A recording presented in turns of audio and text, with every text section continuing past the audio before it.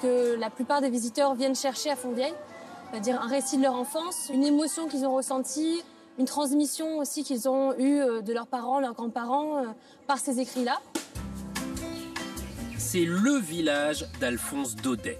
Trait d'union entre les Alpilles et la Camargue, Fontvieille fut la source d'inspiration de l'auteur des Lettres de Montmoulin.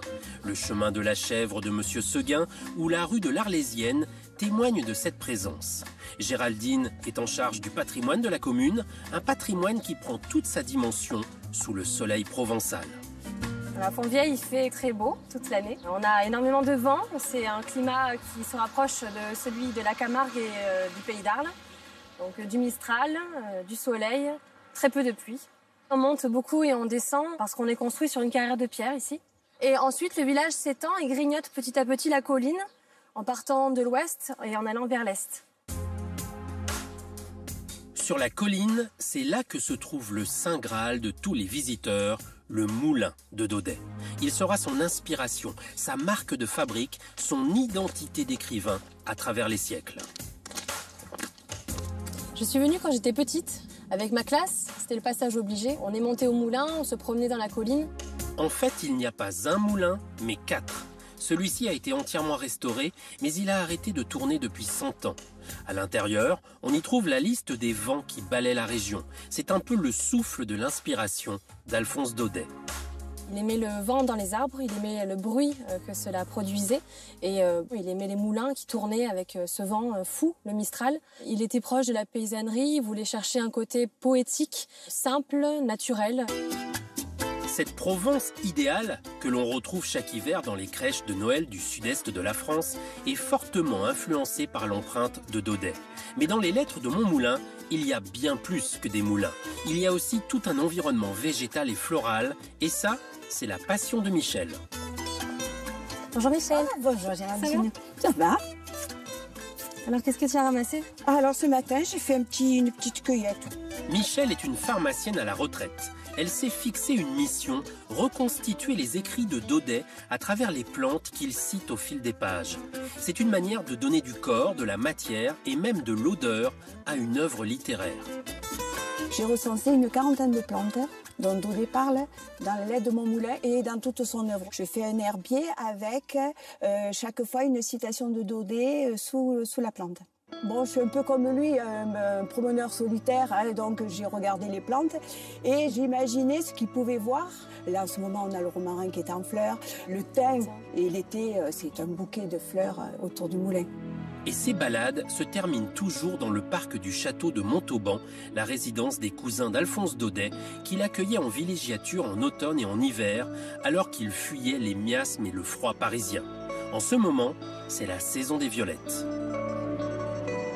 Oh, elle va être jolie, très belle. normalement, ça devrait bien rendre. À une époque, on collait les plantes dans un cahier. Désormais, Michel les scanne avant d'apposer une citation calligraphiée. Les violettes se haussent vers lui sur le bout de leurs tiges. La Provence de Daudet, qui sent la lavande et le romarin, est entrée dans la culture populaire. Mais en montant sur le toit du château, nous allons surplomber une Provence que Daudet connaissait, mais dont il n'a jamais parlé. C'est l'un des combats de René. Bonjour René. Ah bonjour Géraldine. Ça va? Ça va bien? Quelle vue magnifique. René est adjoint à la culture, il veut faire connaître l'autre Fontvieille. Alors nous sommes sur la terrasse du château de Montauban, là où venait Daudet. Il a imaginé un, Fontvieille qui, qui, a rendu célèbre notre village, mais il n'a pas connu le Fontvieille euh, réel de l'époque. C'est celui des carriers, celui de l'histoire ouvrière, syndicale. Et ce sont des pierres qui ont construit euh, en grande partie Marseille. Autrefois le château de Tarascon, Alger, Alger la Blanche, c'est la blancheur des pierres de Fontvieille. Enfin, c'est une des grandes carrières de France ici. Lui, Daudet, c'était les contes qu'il recueillait auprès des bergers, de ceux qui racontaient justement toutes ces histoires qu'il a merveilleusement imaginées et merveilleusement contées. Mais c'est un autre Fontvieille en fait qu'il a décrit. Aujourd'hui, on ne creuse plus sous le village, mais en périphérie. Dans cette immense carrière à ciel ouvert, on extrait la pierre de Fontvieille. Ici, c'est un témoignage flagrant du gruyère qui est Fontvieille. ici, dans, dans le pays des carriers. Gérald, le gérant, est le digne héritier de ceux qui travaillaient ici il y a 300 ans. C'est une pierre qui a environ 18 millions d'années. euh, qui est une pierre qu'on appelle semi-tendre et qui euh, va être fortement utilisée dans le bâtiment. La pierre de Fontvieille, c'est une pierre qui appelle le soleil. C'est une matière qui est douce au toucher, qui euh, est veinée, qui a des coquilles. C'est quelque chose qui crée en quelque sorte un mouvement. On n'a pas besoin de l'habiller derrière. On compte une dizaine d'ouvriers sur cette carrière. Deux siècles en arrière, il faut imaginer que près de 400 personnes vivaient de ce métier.